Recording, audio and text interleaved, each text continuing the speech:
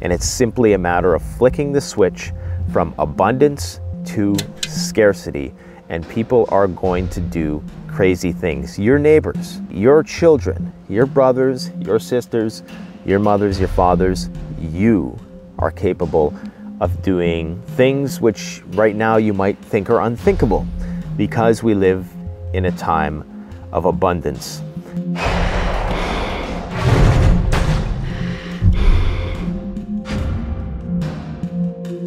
So today uh, we're going to have a reality check on the channel and we're going to talk about why the proverbial SHTF or societal collapse is going to be an absolutely terrible, terrible experience for so many people and why it's almost guaranteed to happen in our lifetime.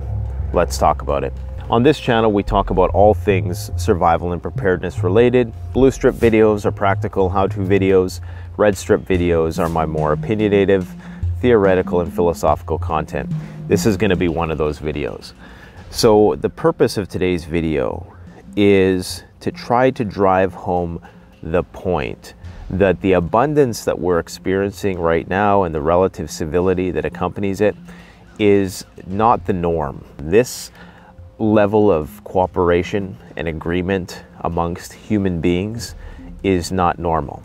In times of economic and material contraction, the true nature, the true primal nature of human beings is going to manifest.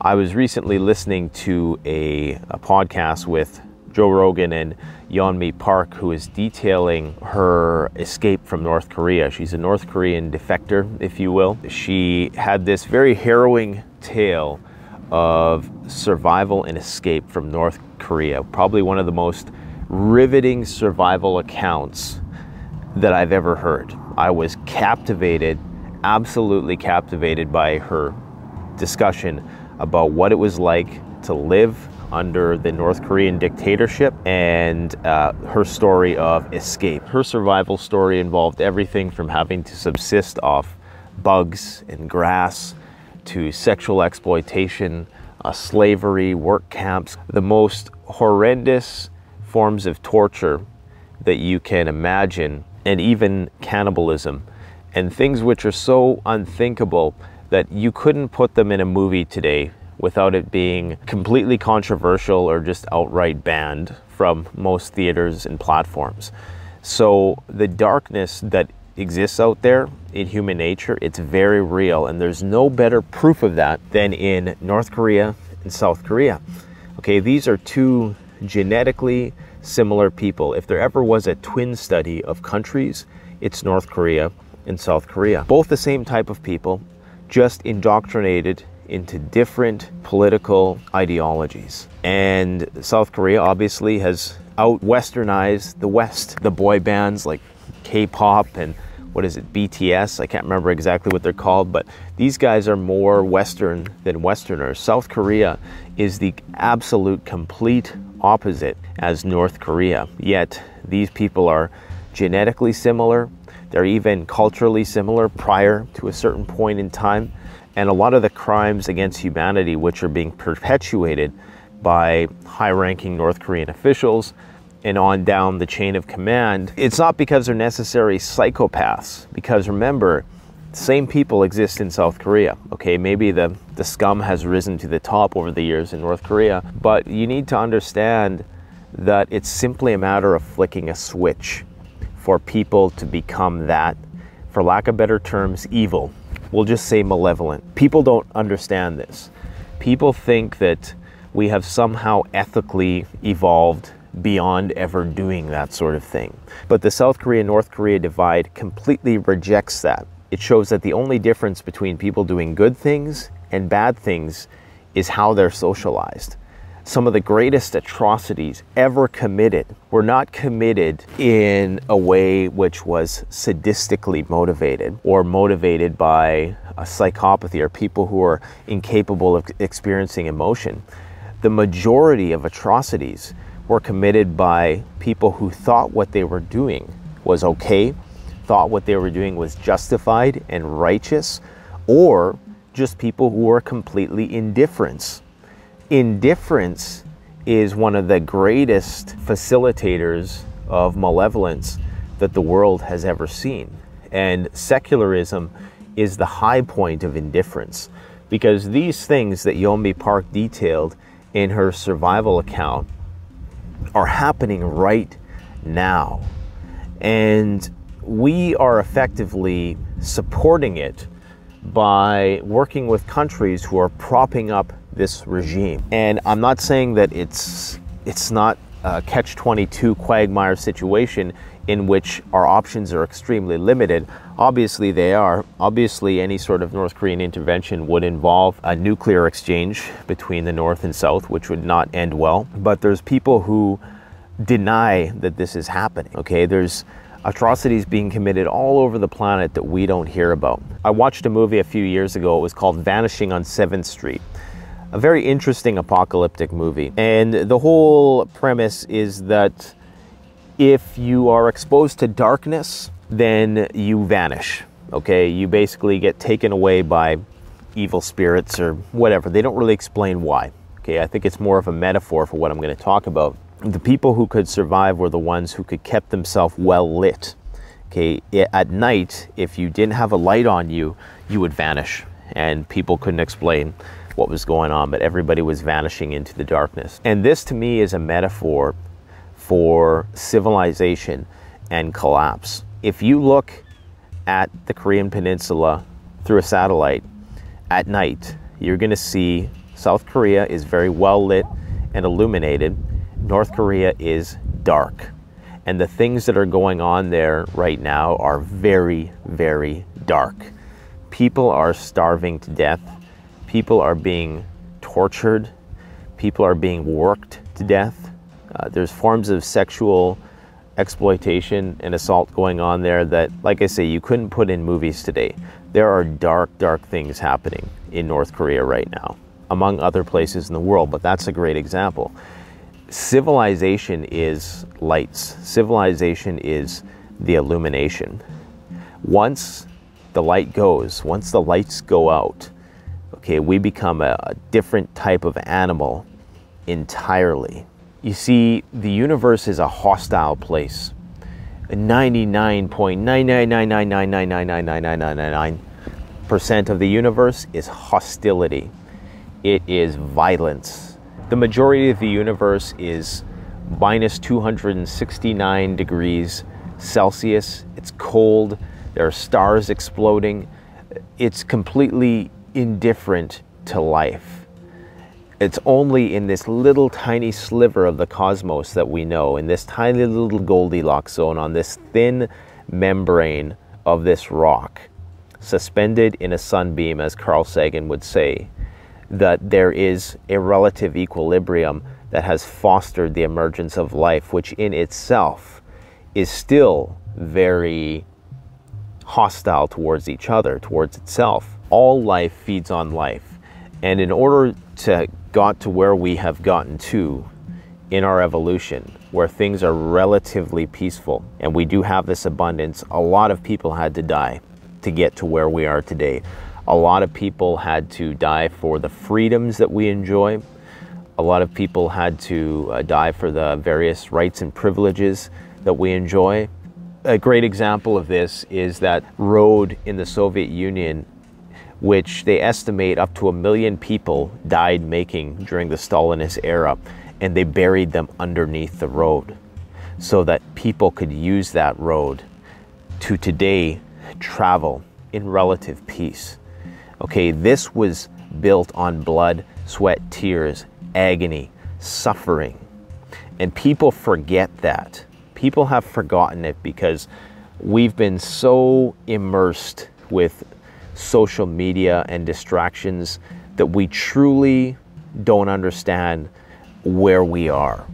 And where we are is in this very, very delicate, thin veneer of civility that we exist in. It could easily, easily fall apart very quickly. But because people don't understand this fundamental thing, preparedness to a lot of people is always going to seem out in left field. It's always going to seem illogical because their whole life this is all they've known. All they've known is relative peace. Imagine growing up in the first part of the 20th century. You would have seen a huge plague, you would have seen two world wars, you would have seen a, a Great Depression.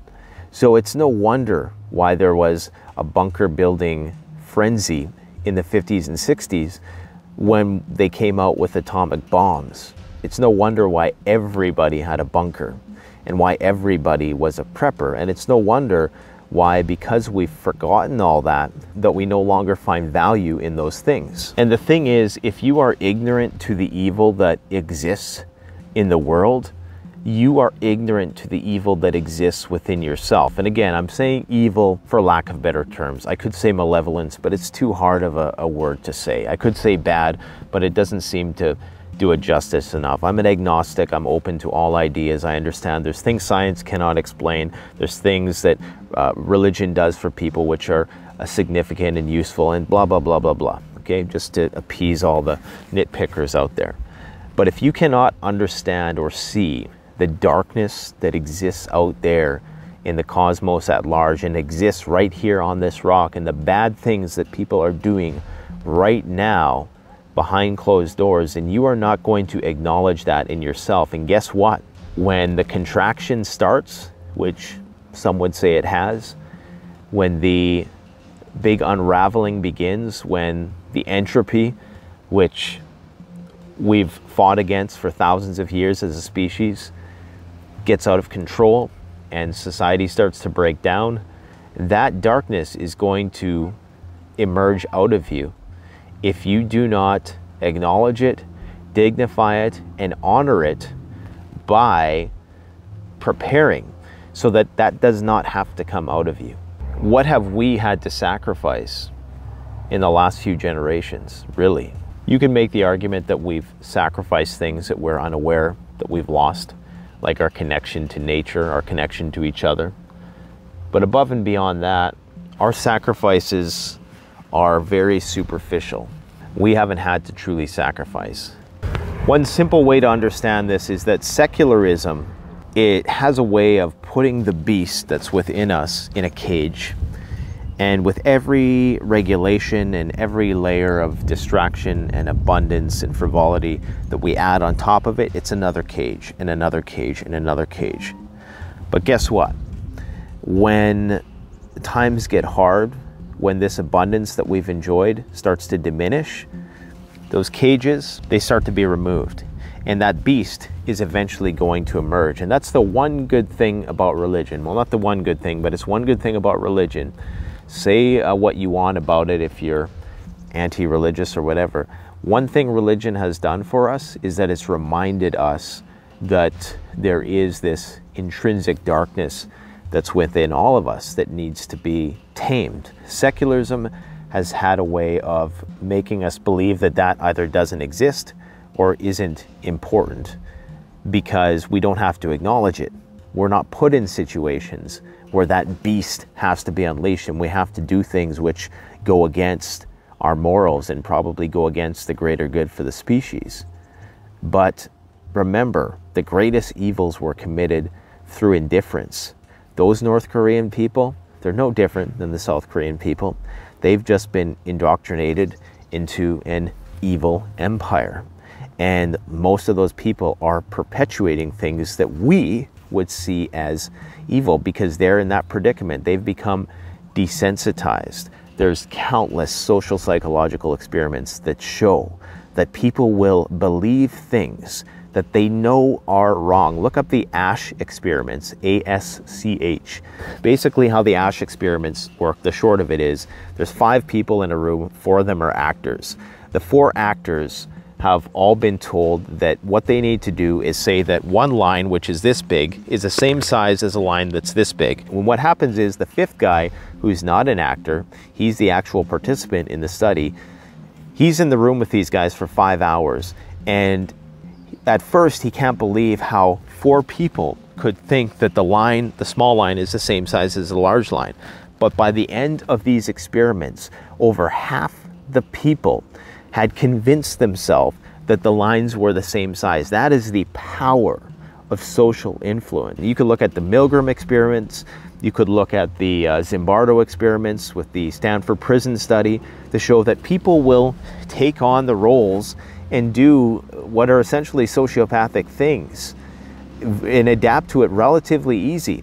And this is without even going into material scarcity. So there is a darkness out there, and there's a darkness in here, in all of us. And that movie, Vanishing on 7th Street, I believe that the metaphor there that they're trying to show is that when the lights go out, that darkness is going to start to emerge. And if we are not careful, it could usurp the best of us, the best of our intentions could be usurped by that darkness. That that is the norm in the universe. People don't want to admit it. People want to think that this beautiful planet that we live on is the norm. It's not. Okay, this is a, a very, very rare exception to the rule that by all statistical accounts should probably not even exist, but it does. So all I'm saying is that when the shizzy hits the fizzy, people are going to find out who they truly are. People are going to learn more about life probably in the first few weeks of a societal collapse scenario than they have their entire lives. Let me know what you guys think in the comment section below. Sorry if this video came off as uh, dark and gloomy. Uh, actually, I'm not sorry because it is what it is. This is just uh, reality, and these are things I enjoy thinking about, not because I enjoy the the implications and even um, talking about you know people having to endure hardship, but because it's fascinating to me.